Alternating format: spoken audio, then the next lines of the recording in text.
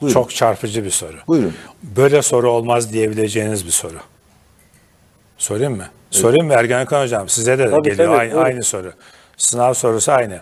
Şimdi bu insanlar hani gitmeyen yıllarca kalan Evet. bu Kazakistan, Kırgızistan, Türk Cumhuriyetlerindeki, Rusya'daki insanlar o ülkelerin Atatürk'ü mü? Şimdi Atatürk de kaç yıl iktidarda kaldı? Ee, Bu soruyu şuradan esinlenerek sordum. Çok büyük işler de yaptı dediniz.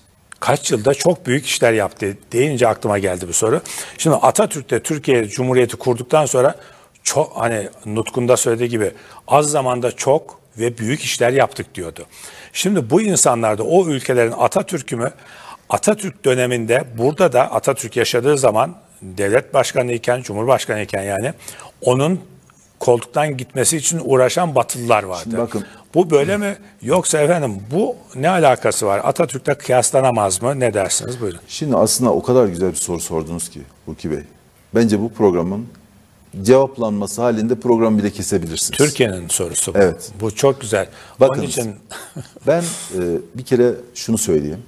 Bunlar Atatürk Cumhurbaşkanı Cumhurbaşkanlığını bir savaşla aldı. Kurtuluş Savaşı'yla aldı. işgalden kurtararak. İşgalden kurtardı. Bunlar politbürodan aldılar Cumhurbaşkanlığı. Tamam mı? Bir kere burada ayrılıyor. İki, Atatürk ölseydi hayatının hiçbir döneminde burada halk ona ayaklanma ayaklansaydı gidip de bilmem İngiliz askerini çağırıp kendi halkına karşı onu barış gücü olarak kullandırmaz. Kim yapmazdı onu? Atatürk bunu yapmazdı.